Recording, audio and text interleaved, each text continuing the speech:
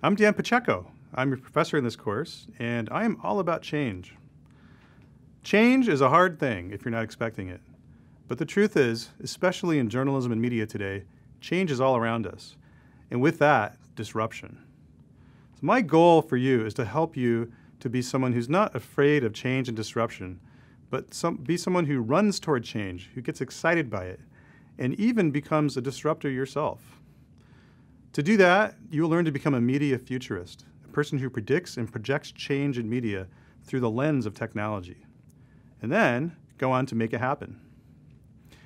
Change for me is exciting because it means there are no rules for how to do things right. You get to be the one to figure that out. And that really makes innovation and change fun. You get to spend a lot of time tinkering and even playing with new tools, which people often call toys, but I like to call tools that happen to be fun. it's one of the few jobs that you can have where you get to be paid to have fun.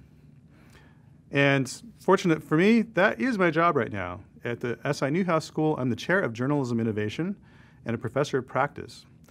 And I came to the Newhouse School with 20 years of experience in journalism and interactive media. I started out as a journalist at the Denver Post as a feature writer. And because I happened to be writing about some, this little thing called the internet, uh, I got I ended up finding uh, someone who was hiring at the Washington Post to set up their very first website, WashingtonPost.com. Um, I worked on the team that launched that site, and then some of us went on to another company you may have heard of called America Online, which is no longer the coolest company, but back then it was pretty cool. um, I, uh, after AOL, where I learned to become really a product manager quite by accident, uh, which is something that you, as a future journalist or current journalist, may find more and more you're either having to do or finding that, that you like to do. Uh, I worked as an entrepreneur. Um, I am an entrepreneur now, even though I'm a professor. I have a consulting uh, organization called Future Forecast. Uh, but for about uh, four years, I worked on my own uh, entrepreneurial venture called BookBrewer, which is uh, helping people create ebooks and publish them to different platforms. And I also had a Knight News Challenge project uh, that was funded by the Knight Foundation called Printcasting. On a personal note, I'm a dad. I have two daughters, uh, 9 and 13. Uh, one of them is in Science Olympiad, which I'm very proud of. That's the older one. She texts me sometimes asking me if she can use the 3D printer at the school to print screws for her Rube Goldberg machines, which she then enters into different contests.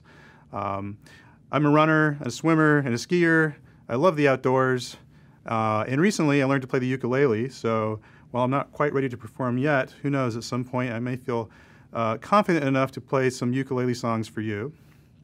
Um, but really, what a lot of people know about me is that I just really love science fiction. Um, I'm kind of addicted to it, not just because it's about technology, um, but because I think it says a lot about our times today uh, based on what people think will happen in the future.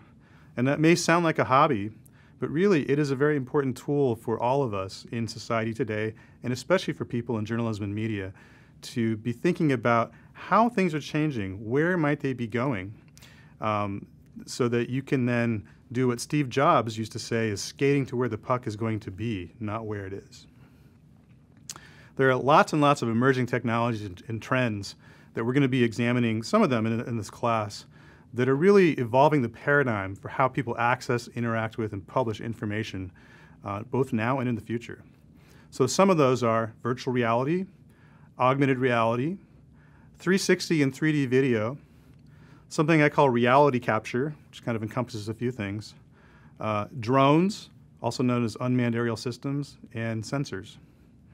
The important thing with all these technologies we'll be exploring in this class is not really what they do now or the technologies in and of themselves. Um, everything that you learn about them it will very quickly become out of date, and especially what we are teaching in this particular class um, they'll be impacted by change as well, and there will be new technologies that emerge that we haven't even covered here. But that's okay because that's not really the focus of this course. Uh, this is really about rewiring your brain to be a change agent uh, through the lens of technology. So I'm going to help you learn how to spot emerging trends. And in the process, you'll be better prepared for a career in which you embrace and exploit these new opportunities that these technologies represent. My goal for you is that to set you up so that rather than having to constantly adapt to or fight external changes that are outside of your influence, you'll be on your way to becoming an agent of creative disruption and change yourself. So with that, let's jump inside and get to work.